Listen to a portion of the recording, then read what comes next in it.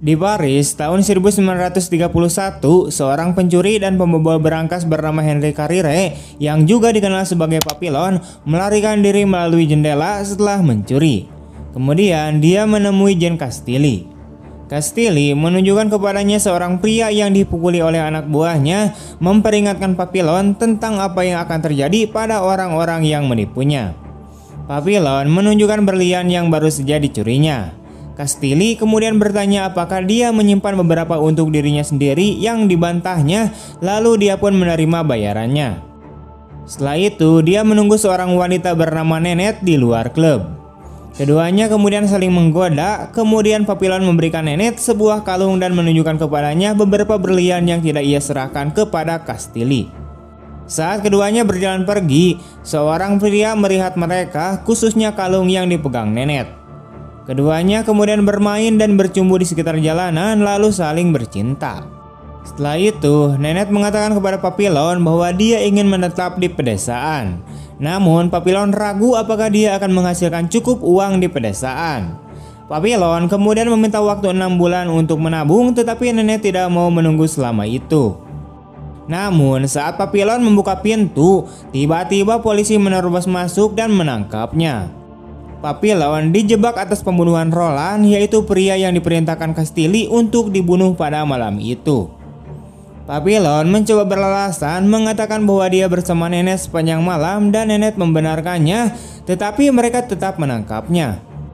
Kemudian Nenek mengunjungi Papillon dan dia tahu bahwa dia tidak bisa keluar karena semuanya telah diatur dengan sempurna. Sebaliknya, dia hanya akan fokus untuk keluar dari penjara dan membalas dendam pada orang-orang yang menjebaknya. Dia juga menyuruh Nenet untuk melupakannya, namun Nenet menolaknya. Setelah Nenet pergi, seorang narapidana di sebelah selnya yang bernama Julot berbicara kepadanya. Dia mengatakan kepada Papillon bahwa untuk melarikan diri, dia membutuhkan banyak uang. Dia kemudian menunjukkan seorang pria bernama Luis Dega, yaitu seorang pemalsu. Saat berjalan menuju kapal yang akan membawa mereka ke penjara, Papillon mengarahkan pandangannya ke Dega dan dia menyadari bahwa banyak orang yang mengenali pria itu. Setelah menaiki kapal, dia segera mendekati Dega dan menawarkan perlindungan dengan imbalan uang agar dia dapat melarikan diri. Tetapi Dega menolak tawarannya.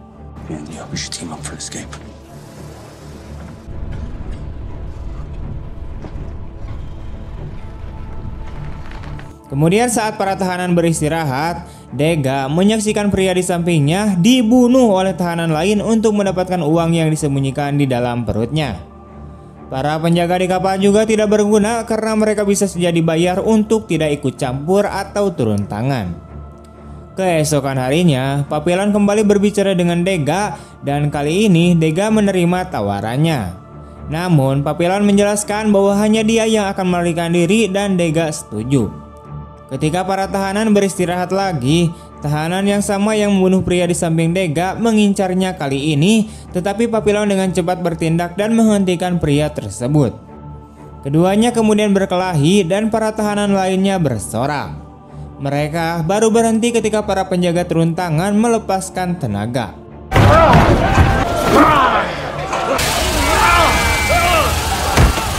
Move it! Hands out, everybody. This one's been fighting for sure. Come on. Memeriksa setiap tinju tahanan untuk melihat adanya memar akibat perkelahian, mereka pun menangkap Papillon dan menghukumnya. Keesokan harinya, mereka sampai di pulau tempat mereka akan dipenjara. Julot mendekati mereka dan meminta Papillon untuk menyamar. Dengan melukai dirinya sendiri, dia sengaja jatuh dari tangga untuk dibawa ke rumah sakit.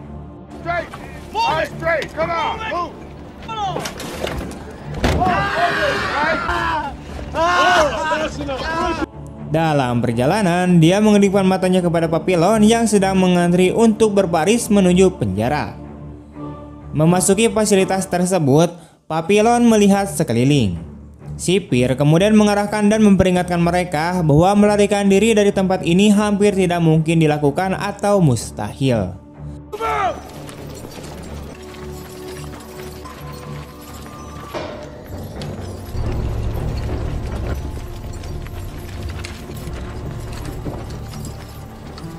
Ketika Papilon dan Dega sampai di barak mereka, Papilon dengan cepat menempati sudut dan menyuruh Dega untuk tetap tinggal.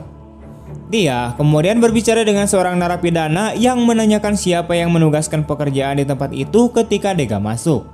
Setelah setuju dengan jumlah uang yang akan mereka berikan, pria itu setuju untuk membantu mereka dan memberikan sebuah buku catatan kepada Dega. Kemudian Dega mengeluarkan uang tersebut dari lubang pantatnya. Kemudian saat beristirahat, mereka mendengar suara tembakan. Ternyata seorang pasien dari rumah sakit mencoba melarikan diri dan Papilon dengan cepat menyadari bahwa itu adalah si Julot. Adegan kemudian berganti menjadi para narapidana yang mendapatkan tugas untuk dikerjakan. Papilon dan Dega ditugaskan di rumah sakit tetapi seorang wakil sipir memindahkan mereka ke rute 0 sebagai pembalasan dendam kepada Dega. Wait. Take him too. Rute 0 adalah tempat di mana mereka mengumpulkan batu dan Dega tidak berguna. Bahkan dalam mendorong gerobak, Dega tidak membantu sama sekali. Dalam keadaan lemah, ia mengatakan kepada Papilon bahwa ia mengalami diare dan kehilangan sejumlah uang. Papilon berhenti mendorong dan mencari uang itu di sepanjang jalan. Saat beristirahat dan makan, Dega menemukan bahwa pria di sampingnya telah meninggal. Dia hendak memanggil penjaga, tetapi seorang pria bernama Seliar menghentikannya. Dia mengambil jatah makanan orang yang sudah meninggal itu dan memberikannya kepada mereka. Dia kemudian berbicara dengan Papilon tentang kehidupan mereka di luar penjara. Melihat Dega dalam masalah, dia memperingatkan Papilon yang dengan cepat bertindak dan mendorong pria yang menyerang Dega.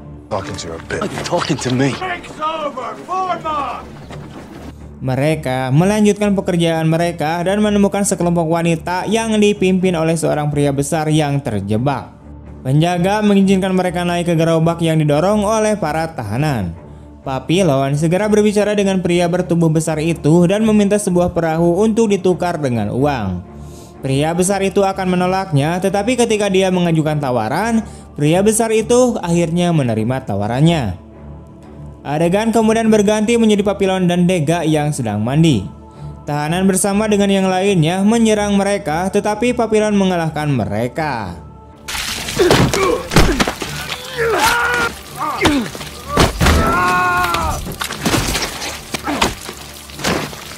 Dega memperingatkannya bahwa para penjaga akan datang tetapi Papilon berteriak padanya.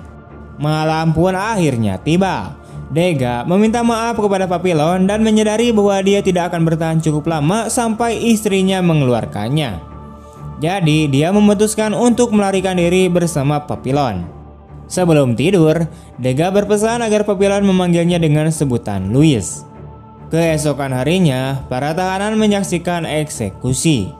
Ternyata saat mencoba melarikan diri, Julot membunuh seorang penjaga. Menempatkannya di tiang gantungan, Papilon dan Dega hanya bisa menyaksikan dengan diam saat kepala Julot menggelinding ke dalam keranjang.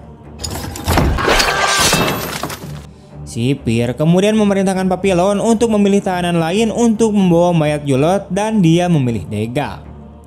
Saat membawa mayat itu ke hutan, Dega pun pingsan dan berhenti memikulnya. Penjaga memerintahkan untuk melanjutkannya, tetapi karena tidak bisa mematuhinya, penjaga itu mencabuk punggung Dega.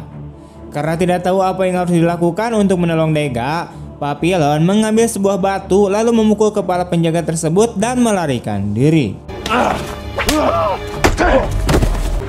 Penjaga lain dengan cepat mengikutinya, sementara yang lain mengangkat Dega. Hari sudah gelap ketika Papilon mencapai pria besar itu. Tapi itu adalah jebakan dan penjaga menangkapnya.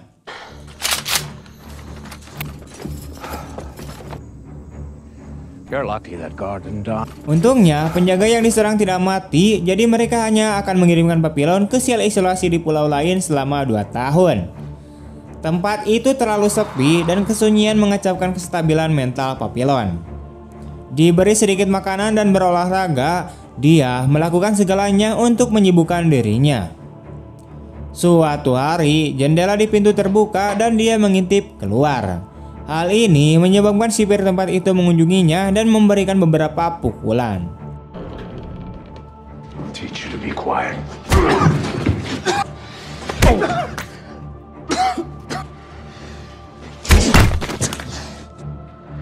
Come on, he's crazy. Come on.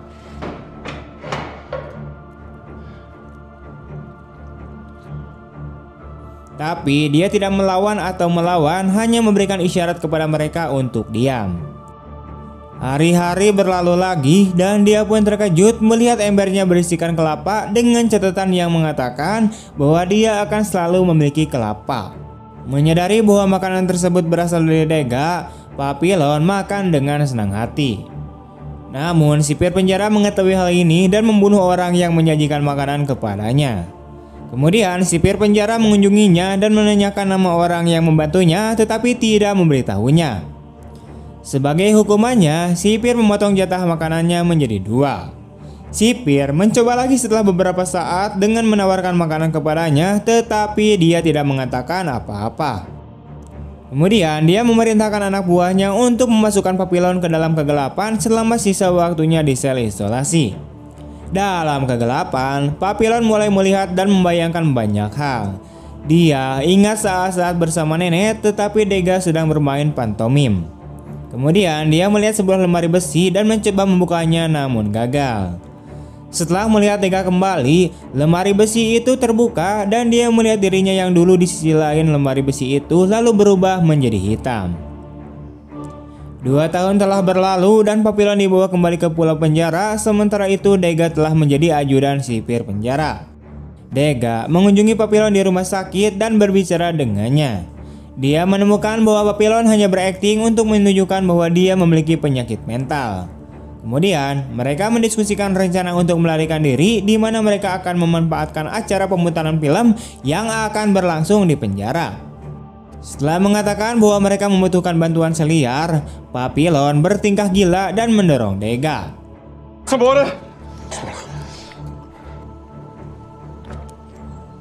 Adegan kemudian berganti menjadi Papillon yang menyaksikan petugas rumah sakit melakukan pelecehan seksual terhadap seorang pasien bernama Maturete di ruang perawatan. Dia kemudian berbicara dengan Maturete dan menawarkannya untuk melarikan diri bersama mereka dengan imbalan mengalihkan perhatian petugas rumah sakit dan dia setuju. Keesokan harinya, Papillon, Dega, Celier, dan Maturete membicarakan rencana mereka untuk melarikan diri. Setelah pertemuan itu, Dega curiga pada Celiar tetapi Papillon mempercayainya. Dia kemudian memberikan Dega obat penenang untuk membuat para penjaga tertidur. Malam itu, semua orang bersenang-senang. Dega meminta sebotol minuman keras lalu memasukkan obat penenang ke dalamnya. Sementara itu di ruang perawatan, Maturete menggoda petugas. Papillon dan Celiar dengan cepat mengikuti dan menjatuhkannya. Kesal, Maturete menendangnya dan mengeluarkan suara berisik.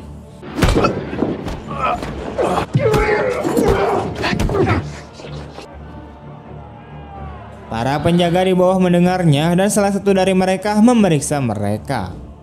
Beruntung obat penenang membuatnya jatuh pingsan lalu mereka menyerang penjaga yang tersisa di lantai bawah.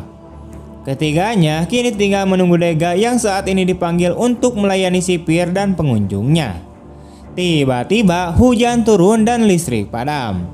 Panik, Seliar dan Maturete pun hanya ingin pergi tetapi Papillon tidak mau pergi tanpa Dega yang berlari ke arah yang berbeda.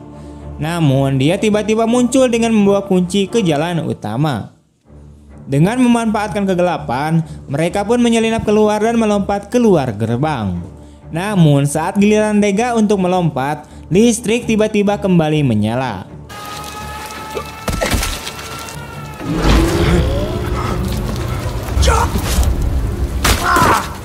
Meskipun dia bisa melompat, dia mendarat dengan buruk mematahkan kakinya. Seliar ingin meninggalkan Dega tetapi Papillon tidak ingin meninggalkannya. Dalam perjalanan ke dalam hutan, mereka pun terpojok dengan orang-orang bersenjata. Seorang pria yang tampaknya menjadi pemimpin muncul dan ternyata dialah yang diajak bicara oleh Seliar tentang perahu. Keempatnya berhasil berlayar ke laut tetapi mereka terlalu berat untuk perahu kecil yang mereka miliki. Seliar masih berbicara dengan Papillon untuk meninggalkan Dega, namun ia kembali menolak. Sayangnya, badai mendekati mereka. Putus asa, Seliar mengambil pisau dan mencoba membunuh Dega, tetapi Maturete menyerangnya. Tetapi dia lebih kuat dan mendorong Maturete ke laut. Kemudian Papillon dan Seliar bertarung. Seliar mengalahkan Papillon namun Dega mengambil pisau dan menusuk Seliar hingga tewas. Melemparkan tubuhnya ke laut, ketiganya berjalan di tengah badai di tengah lautan lalu berubah menjadi hitam.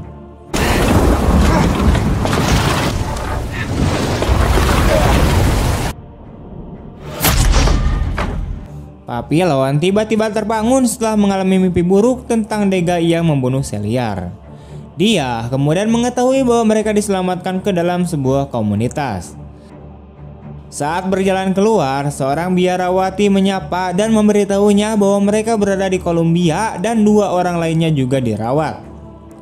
Berbicara tentang agama, biarawati itu mengatakan bahwa dia tahu dari mana mereka berasal dan mereka hanya perlu bertobat atas dosa-dosa mereka.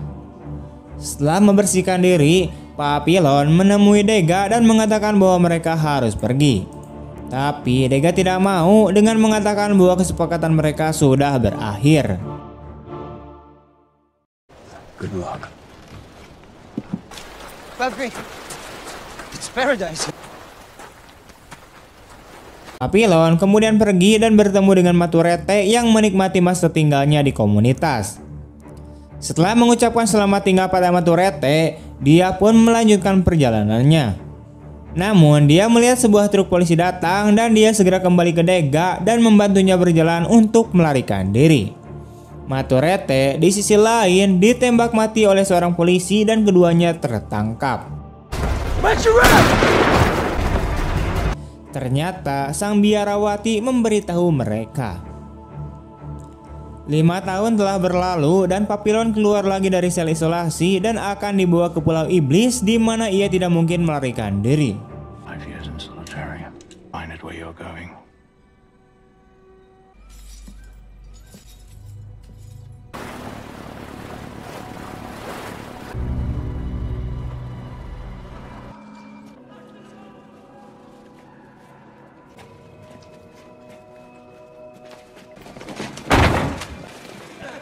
Di sana, dia bertemu dengan Dega lagi. Ternyata, sipir mengirimnya ke Pulau Iblis langsung setelah tertangkap. Melihat ke atas tebing, Papillon menyadari cara untuk melarikan diri.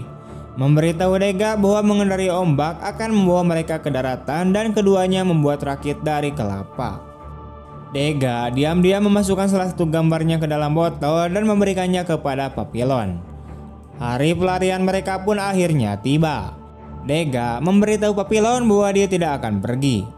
Dega mengatakan kepada Papillon bahwa dia adalah milik pulau itu dan meyakinkannya bahwa semuanya akan baik-baik saja dan kedua pria itu berpelukan dan dengan jabatan tangan terakhir Papillon melompat dari tebing.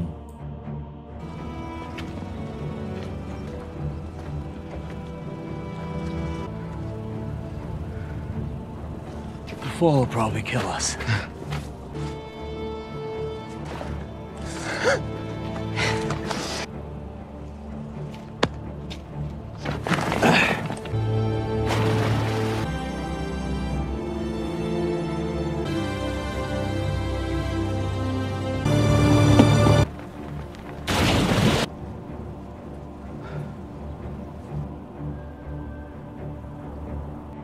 Dega mengira Papillon tidak berhasil, tapi tiba-tiba dia meneriaki nama depan Dega, memberitahunya bahwa dia berhasil.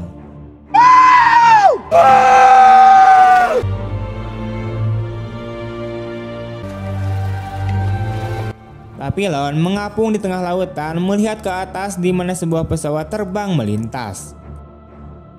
Pada tahun 1969, Papillon yang sudah tua naik ke pesawat terbang kembali ke Paris untuk menerbitkan memoarnya. Masih membawa gambar Louis bersamanya, Papillon mengatakan kepada penerbit bahwa kisahnya adalah kisah banyak orang. Film ini pun akhirnya diakhiri dengan gambar Henry yaitu si Papillon yang asli yang diperlihatkan kepada penonton. Tamat.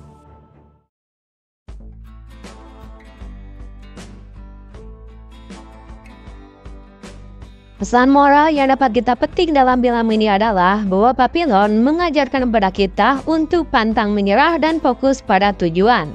Dalam prosesnya, kita akan menemui kegagalan. Namun, bagi orang-orang cerdas yang pantang menyerah, kegagalan justru menjadi kisah manis untuk diceritakan. Oke, sekian dulu untuk film kisah nyata drama kali ini. Jangan lupa untuk like, comment, share ke mana pun kalian suka. Bagaimana tanggapan kalian tentang film ini? Jangan lupa tulis di kolom komentar. Dan jika kalian suka dengan channel ini, jangan lupa untuk like, comment, share ke mana pun. Dan jangan lupa untuk aktifkan loncengnya. Kertuk gitu. Terima kasih telah menonton. See you next time and bye-bye.